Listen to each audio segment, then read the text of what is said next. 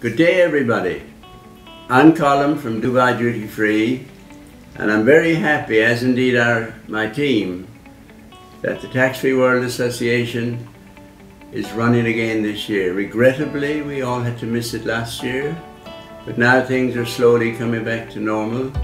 And we at Dubai Duty Free had registered to attend this event right at the beginning. And it is in fact about the almost the 40th year that Dubai Duty Free have been attending the annual show. I want to welcome all of you to it. I'm happy to see that you're all attending and I hope you have a very successful week. And best of luck to everybody.